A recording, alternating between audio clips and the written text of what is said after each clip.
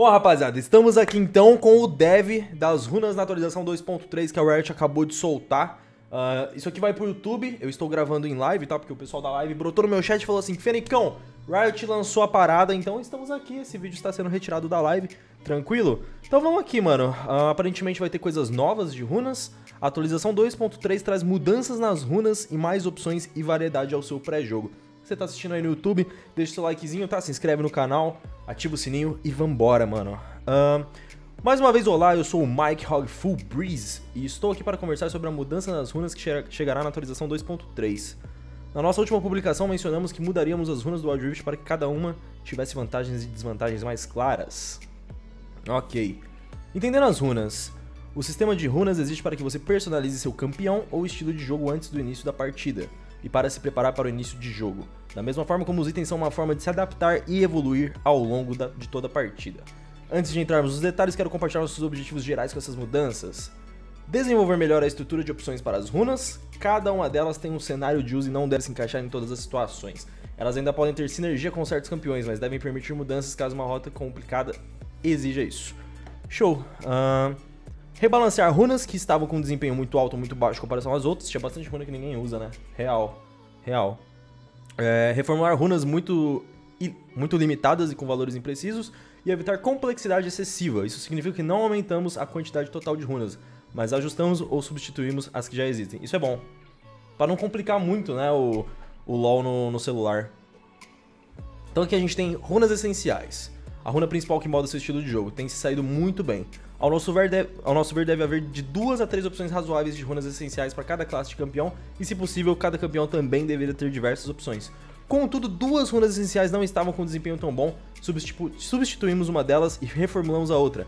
Klepto, que nem. Ai, ó, ninguém usava Klepto, cara, era completamente inútil, tá ligado? Uh, a Klepto foi substituída pelo ímpeto gradual. Isso é, é, bom, isso é bom. Ímpeto gradual é uma runa que é, bem, é bastante utilizada no OPC. E eu não sei se eles vão explicar como que funciona. Ah, explica, fechou. Vamos lá. Foi removida a Klepto, então, não vou nem ler. Aqui, ó. Ímpeto gradual. Acertar um campeão com 3 ataques ou habilidades separados dentro de 3 segundos concede um grande impulso de velocidade de movimento e resistência à lentidão. Um boneco que eu posso vir a usar como exemplo aqui para o ímpeto gradual que pode ser forte. Uh, no LoL PC o pessoal usava a Oriana com ímpeto gradual, tá? Ela joga a bola, dá a segunda habilidade no cara e puxa a bola para ela. Com isso ela ganha escudo. Se você fizer isso tendo ímpeto gradual, você vai ganhar muita velocidade de movimento para ir se reposicionando e kitando os caras. Então a Oriana ela vai acabar se tornando um champion de kite no mid, entendeu? É, é muito forte essa runa para alguns campeões. Vai ficar muito quebrado. Nossa, ímpeto no Darius, é verdade. O chat mandou aqui, meu, ímpeto no Darius vai ser loucura, tá ligado? Mas aí você tira aquela a runa do conquistador, né? Tem tudo isso. Mas, mano, como que você foge de um Darius de ímpeto? É complicado. Darius de ímpeto em fantasma vai, vai reinar. Vamos lá. Uh, a Kleptomancer não estava se dando bem com nenhum campeão e as pessoas também não estavam conseguindo fazer bom uso dela. Nem toda runa precisa ser popular, mas a Kleptomancer estava muito abaixo na taxa de escolha, 0,5. Caraca, real. Em comparação às outras runas essenciais, em comparação às outras runas essenciais, ok. Gostamos da ideia de runas essenciais complexas que, quando usadas por pessoas sagazes, possam ser muito vantajosas, então a substituímos por uma menos caótica, ímpeto gradual. Ímpeto gradual uma runa do LoL que concede impulso de velocidade de movimento e resistência à lentidão a cada terceiro golpe causado a campeões inimigos. Se você for um galho que não quer deixar seu alvo escapar, ou um Aurelion Sol jogando com a estratégia de bater e correr, essa runa cai como uma luva. Cara, eu esqueci do Aurelion Sol. Eu esqueci do Aurelion Sol, é verdade. O Aurelion Sol vai ficar muito quebrado com isso. É uma runa pro Aurelion. Meu. É true, é true. É muito bom para Aurelion. Fonte da vida reformulada. Cura para equipe. Isso aqui é mais de suporte, não é, família? Que eu me lembre. Antes da atualização 2.3, ao debilitar o movimento de um campeão inimigo, ele ficará marcado. Aliados que atacarem campeões marcados serão curados ao longo do tempo. Agora no 2.3, atingir o campeão inimigo com ataque ou habilidade irá marcá-lo. Quando você ou seus aliados causarem dano a campeões marcados, você e seus aliados receberão cura. Cada aliado poderá ativar essa cura uma vez por marca. Do modo que ela funciona hoje, a fonte de vida é, lim é limitada demais para valer a pena. Por isso expandimos, expandimos as formas de aplicar a marca para que mais campeões possam fazer melhor uso dela. Agora basta causar dano para aplicar a marca e cada aliado só precisará causar dano uma vez para acioná-la, ao invés de ter que atacar o alvo várias vezes. Buff bom. Buff bom é necessário. Runas de dominação. Essas runas que servem para aumentar o dano têm feito um bom trabalho em sua área, então não pretendemos fazer muitos ajustes por aqui.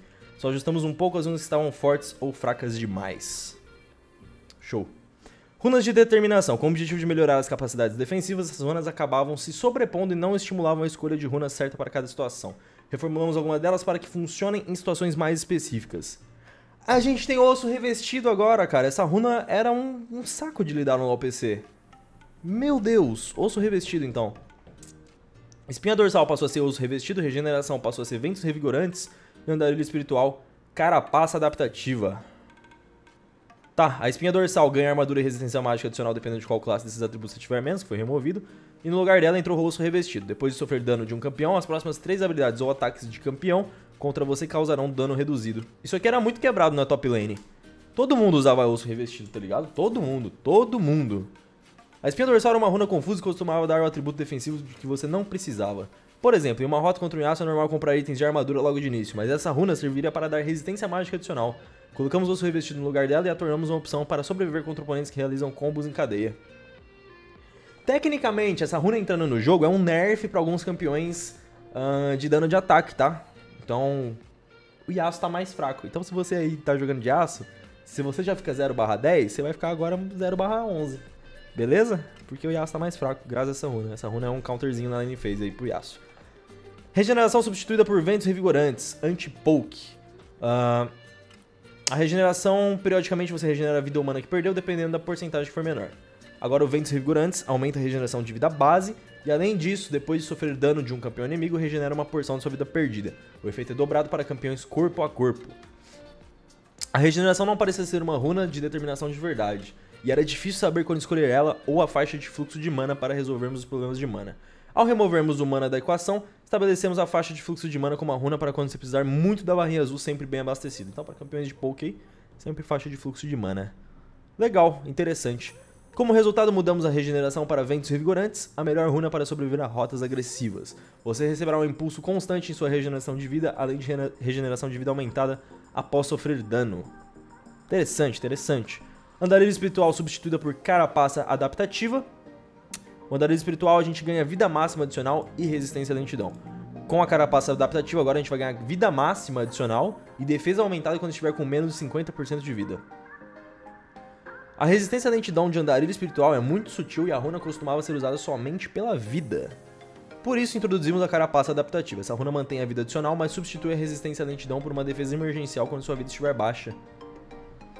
Será que vai funcionar tipo uma orbe anuladora do LoL PC isso aqui? A orba anuladora, quando você tomava um dano mágico que ia reduzir sua vida, você ganhava um escudinho mágico ali. Como se fosse o Mike's Drinker, sabe? Será que isso vai funcionar como o escudo do Sterak? Será que seria tipo isso? Mano, se for isso é bem interessante, cara. É uma runa anti-burst. Legal. Runa Condicionamento Fortalecida. Armadura e resistências mágicas graduais. Antes da atualização 2.3, você ganha 8 de armadura e resistência mágica adicionais após 5 minutos da partida. Agora, você ganha 8 de armadura e resistência mágica adicionais após 5 minutos de partida. E a cada 2 minutos depois desse período, concede 2 de armadura. Oh! Cara, isso é grande, isso é grande. Pode colocar aí que os jogos têm 15 a 20 minutos, mano. Oh, mano. Interessante, dá uns 30. 30 mais de armadura MR aí. Brincando. A runa condicionamento estava um pouco fraca, mas ela tem um propósito bastante claro. Por isso fortalecemos a nossa amiga para que ela fique mais forte no decorrer da partida. Pô, então um jogo que você vai escalar pro late game, você cata essa runa aqui, velho. Trintinha fácil. Então, também acho que o Garen não vai morrer mais, rapaziada. Garen agora, se ele já é imortal com isso aqui. Bora continuar então, ó. Runas de inspiração. Essas runas que buscam ajudar você a adaptar seu estilo de jogo têm feito um trabalho, um bom trabalho nas situações para as quais são indicadas. Mas algumas delas se destacaram demais e precisaram de alguns ajustes. Uh, runa Mentor enfraquecida. Objetivos... Ah, eu usava essa runa em todos os junglers, cara. Ela era quebrada. Antes da atualização 2.3, causa 10% de dano verdadeiro adicional a monstros épicos e torres, ganha 100 de ouro e 500 de XP adicional ao conquistar esses objetivos ou ajudar a conquistá-los. Agora, a gente ainda causa dano verdadeiro e 10% de dano adicional adaptativo a torres. Eu ganho 120 de ouro adicional ao conquistar esses objetivos ou ajudar a conquistá-los. Eu não ganho mais a XP! Nerf na jungle! Nerf na jungle! Eu não ganho 500 de XP adicional por objetivo. Me acabaram com a minha jungle. Família, é, após esse vídeo aqui, eu estarei virando main mid lane. F. F pra jungle. Cara, 500 XP em cada objetivo é um pouco pegado, né? Você, pegou 4 dragões na partida, é 2.000 de XP só de dragão. Você pegou Arauto também, é 2.500. Ai, meu Deus, Riot. Ai, meu Deus. A runa Mentor estava com um desempenho muito acima do esperado em comparação às outras runas de inspiração devido à vantagem obtida com a experiência adicional. Alteramos o dano a torres de dano verdadeiro para adaptativo e aumentamos a recompensa de ouro e removemos a experiência. Tá. Ok. Complicado, né? Complicado. Eu não, eu não gostei dessa mudança. Runa Guloseima Fortalecida. Frutomel, ouro. Poucas pessoas usavam isso aqui. Ela é boa. Ela era boa, tinha uns caras no Rael usando isso aqui. Antes da autorização, aumenta o efeito da cura e cada fruto te dá, te dá ouro. Então você, tipo, se você tava numa lane even ali, que tá todo mundo empatado, você catava as frutinhas e saía na frente no gold. Agora, depois da 2.3, aumenta o efeito de cura. Cada fruto concede ouro adicional quando você ou um aliado próximo consome. Ah, isso é... Nossa, isso é bom, velho. Se alguém roubar teu, tuas goiabas, ó, acabou. Guloseima é é uma runa bem divertida, menos se você for o suporte e quiser fazer um lanchinho. Ajustamos a runa um pouquinho agora ela concede ouro quando o fruto for consumido por você ou por um aliado próximo. Isso significa que, caso você seja um suporte que precisa de vida e seu atirador precise de uma graninha, você pode comer os frutos sem peso na consciência sabendo que ele estará com o bolso cheio do mesmo jeito. Mano, novo meta da bot lane, cara. Isso é tudo por enquanto, não quero falar nada muito escamoso, mas voltarei em breve, armado até os dentes para uma nova mudança crítica de itens crítica numa atualização futura. Daremos um pouco mais de suporte a outras funções e curaremos algumas feridas que ainda existem na nossa lista de itens. Não quero falar nada muito escamoso, isso, isso pareceu um pouco misterioso, escamoso, peixe. Só me lembra Nami. Não sei. Armado até os dentes. Ah, talvez esteja só falando dos itens. Não sei, não sei, mas eles vão fazer mudança nos itens de crítico. Que loucura, cara. Escamoso também pode ser o jacaré. Será que o jacaré tá fraco? Eles vão bufar o jacaré, o Renekton? Pode ser, pode ser. Mas continuando. Além disso aqui, o youtuber Cancer Roll, youtuber gringo, postou algumas coisas que vazaram do patch 2.3 aqui, mano. Os caras catam tudo, né? Não tem nada muito importante assim, mas a gente tem uma foto do evento, tá? Do Lucian e Senna beleza? Então a gente tem essa foto aqui, Lucian e Senna.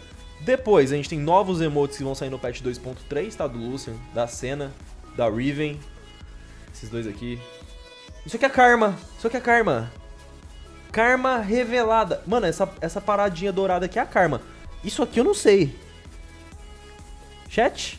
Eu vou aproveitar que eu vou botar em live, eu vou usar o neurônio dos meus do pessoal que acompanha na live. E você que tá assistindo esse vídeo live todos os dias, 11 horas da manhã na Nimo TV, a gente tá fazendo todo dia, filhão. Só brotar 11 horas da manhã, beleza? Vou pedir ajuda aqui do chat. O pessoal tá falando que é a Vayne essa aqui. Beleza, então essa aqui é a Vayne. Mano, isso aqui com certeza é a Karma. Isso aqui com certeza é a Karma. O pessoal que veio do LoL PC, a Karma tem, é igualzinho o bagulho que ela tem. Tenho certeza absoluta. Nossa, cara, a Karma então não tinha saído em lugar nenhum. Simplesmente vazou no emote, então. Caraca. Karma ou Sivir? Não, eu acho que é a Karma mesmo. Mano, Karma vazado então, velho. É isso, novo campeão. Novos emotes ainda. Tem o Renekton. É, são os emotes curtindo o verão, né? Renekton, Lulu e Oriana. Beleza. Aqui temos... Agora vocês me complicam. Tem o Graves. Serafine Lux. Ai, Ai, não sei, não sei. Agora complicou, cara. O, o, o maluco loirinho aqui eu não tenho ideia. Israel? Israel? Catarina? Catarina. Ah, essa aqui é a Catarina. Beleza, Catarina e Lux. Nossa, achei que era Serafine, cara. Tô louco, mas tem, tem realmente o cortinho no olho. É verdade, então. Então aí, mano. Temos Catarina, EZ, Catarina, Graves e Lux. Muito bom. Ah, que bom que eu tenho meu chat enquanto eu estou gravando isso aqui. Eu amo isso. Vamos lá. Novos ícones, tá? A dualidade aqui da Irelia com a Riven. Nossa, ficou... Oh, esse ícone ficou muito louco, cara. Esse ícone ficou muito bom. Eu vou usar ele. Mano. Que da hora. Aí tem o caranguejo aqui. E esse símbolo aqui, mano. Eu não lembro do que, que é esse símbolo. Lembra muito o símbolo de Shurima, mas uma vez eu lembro que eu fiz um vídeo falando que era o símbolo de Shurima e era só parecido e não era o símbolo de Shurima. Eu não lembro qual que é esse símbolo, mas tem esse ícone aqui também, certo? Suave. Uh, continuando, o que mais temos aqui? Sentinelas da Luz, isso, é o símbolo dos Sentinelas da Luz. Boa, obrigado, chat. A gente tem os novos Bubbles, que é os ornamentos que você joga no chão quando você mata alguém. A gente tem as lâminas da Irelia, a gente tem as correntes da Riven, ou simplesmente uma corrente. Tem a espada quebrada da Riven, o símbolo muito doido aqui dos Sentinelas da Luz. A gente tem um arcadezinho aqui bonitinho, um joystick bonitinho e um pão comido com geleia. Sensacional. Novos spawn, novo Spawn Effect do patch 2.3. A gente vai ter o símbolo da, dos Sentinelas da Luz, então, quando a gente spawnar, spawnar da base. Igual o evento do Hangar que teve, Hangar Kha'Zix, que o Hangar tinha um efeitinho para quem escolheu o Team Hangar e o Kha'Zix para quem escolheu o Team Kha'Zix. Mesma coisa, beleza? E novos recalls. Tem esse recall aqui com os livros e um recall arcade. Legal, legal. No geral, acho que é isso. É isso, rapaziada. Espero que vocês tenham gostado do vídeo, deixa o seu like, agradecer ao pessoal do chat da live também, que ajudou aqui a gente a decifrar algumas coisas, foi interessante fazer esse vídeo em live. E é isso, mano, lembrando que tá tendo live todos os dias, 11 horas da manhã na Animo TV, deixa o seu like, se inscreve, ativa o sininho e muito obrigado por tudo. Fênix aqui, valeu, falou e até, até mais.